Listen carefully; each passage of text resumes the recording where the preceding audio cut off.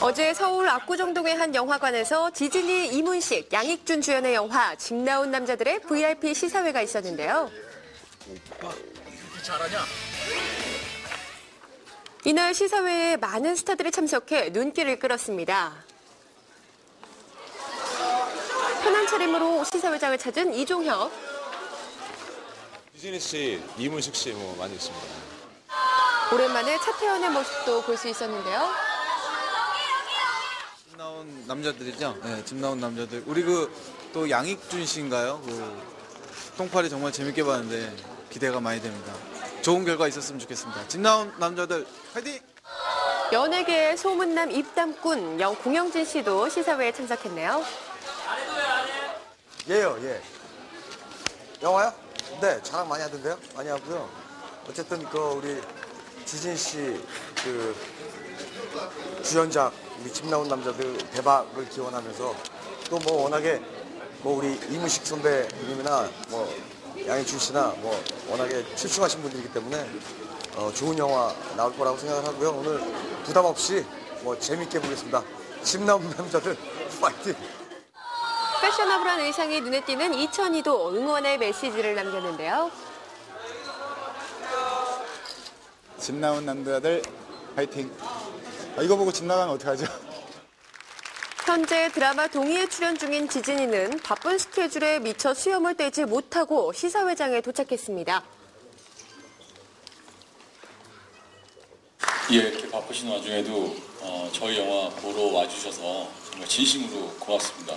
그리고 어, 죄송합니다. 왜냐하면 제가 그 여러분들 뭐 다 아시겠지만 바쁘지 않습니까?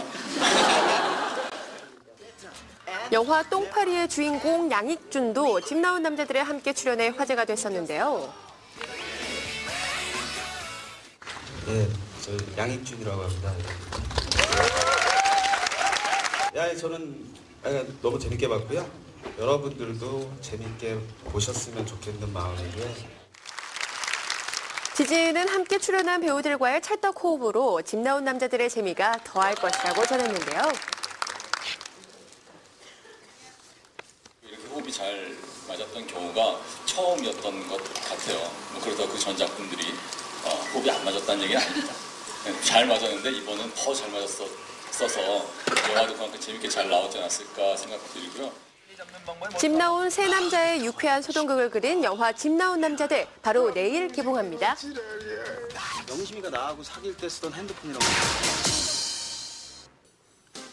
젠틀남 지진이의 유쾌한 변신 영화 집 나온 남자들이 드디어 공개됐습니다. 지난 31일 서울 왕십리의 한 극장에서 영화 집 나온 남자들의 시사회가 있었는데요. 예, 현장에서 굉장히 재밌게 찍었습니다. 그래서 영화도 참 잘 나온 것 같고요. 호흡도 굉장히 잘 맞았습니다. 즐겁게 보시고요. 예, 그리고 소문 좀 아예 그냥 보신 대로 느낀 대로 얘기하세요. 고맙습니다.